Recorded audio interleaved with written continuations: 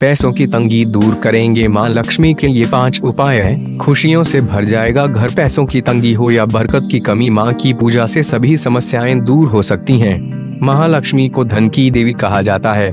पैसों की तंगी हो या बरकत की कमी माँ की पूजा से सभी समस्याएँ दूर हो सकती हैं। इसके लिए सबसे पहले घर के किसी हिस्से को साफ़ कर वहाँ चौकी की स्थापना करें। लाल कपड़ा बिछाकर उस पर केसर मिले चंदन से अष्टदल बनाकर कलश में जल रखें। कलश के पास लक्ष्मी की मूर्ति स्थापित करें। माँ लक्ष्मी की पूजा के साथ ये उपाय करें। महालक्ष्मी व्रत के दिन श्री यंत्र या महालक्ष्मी यंत्र अपने पूजा स्थान पर स्थापित करें और रोज इसकी पूजा करें। किसी लक्ष्मी मंदिर में कमल के फूल अर्पित करें। इससे भी देवी लक्ष्मी की कृपा आप पर हमेशा बनी रहेंगी। देवी पुराण के अनुसार यदि आप धन लाभ की इच्छा रखते हो तो महालक्ष्मी का श्रृंगार सोने, चांदी के आभूषणों से करें। महालक्ष्मी व्रत के दिन देवी लक्ष्मी के साथ साथ भगवान विष्णु की भी पूजा करें। इससे भी धन लाभ के योग बनते हैं।